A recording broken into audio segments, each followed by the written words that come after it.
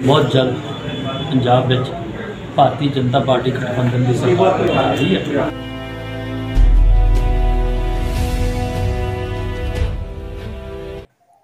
पंजाब में आने वाले चुनाव को देखते हुए सभी पार्टियों ने अपने प्रचार की गति में तेजी लाई है सभी पार्टियां सरकार बनाने के दावे पेश कर रही हैं इसी कड़ी में फगवाड़ा में विशेष तौर पर पहुँचे पंजाब भाजपा के सीनियर नेता श्री रमेश शर्मा, श्री संजय कालरा एडवोकेट विशाल तथा रजनीश सहगल द्वारा आज पंजाब में बीजेपी की पूर्ण बहुमत की सरकार बनाने का दावा किया गया।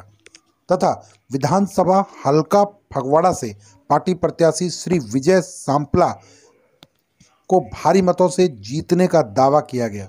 उन्होंने कहा कि इन चुनाव में पंजाब के लोग कांग्रेस सरकार के गुंडा तंत्र को उखाड़ फेंकेंगे तथा जिस तरह पंजाब की कानून व्यवस्था बिल्कुल चोटिल हो गई है तथा रेत माफिया बिना किसी डर के काम कर रहे हैं, उनको अपने मत के ज़रिए करारा जवाब देंगे। फगवाड़ा, पंजाब से रमन बहल व कैमरामैन सुनील शर्मा की खास रिपोर्ट। इलेक्शन के मुताबिक तो फगवाड़ा है ਕਿਸ ਤਰ੍ਹਾਂ ਦਾ ਮਾਹੌਲ ਲੱਗ ਰਿਹਾ ਤੁਹਾਨੂੰ ਜੈ ਸ਼੍ਰੀ ਰਾਮ। ਤੁਹਾਡੇ ਚੈਨਲ ਦੇ ਸਾਰੇ ਦਰਸ਼ਕਾਂ ਨੂੰ ਮੈਂ ਇਹ ਦੱਸ ਦੇਣਾ ਚਾਹੁੰਦਾ ਹਾਂ, ਬਹੁਤ ਜਲਦ ਪੰਜਾਬ ਵਿੱਚ ਭਾਰਤੀ ਜਨਤਾ ਪਾਰਟੀ ਗਠਬੰਧਨ ਦੀ ਸਰਕਾਰ ਬਣ ਰਹੀ ਹੈ ਭਾਰਤੀ ਜਨਤਾ ਪਾਰਟੀ ਗਠਬੰਧਨ ਪਹਿਲੀ ਵਾਰੀ ਅਕਾਲੀ ਦਲ ਤੋਂ ਲੱਗ ਹੋਣ ਤੋਂ ਬਾਅਦ ਬਹੁਤੀਆਂ ਸੀਟਾਂ ਦੇ ਚੁਣਾਵ ਲੜਦਾ ਹੋਇਆ ਵੱਡੇ ਭਾਰਤੀ ਦੀ ਚ ਆਇਆ। ਕਾਰਿਆਕਰਤਾ ਦੀ ਮੰਗ ਸੀ।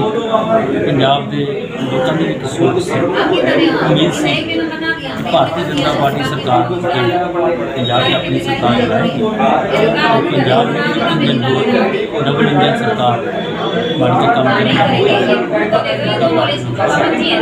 ਦੇਖੋ ਜਦ ਤੱਕ ਕਾਂਗਰਸ ਦੀ ਸਰਕਾਰ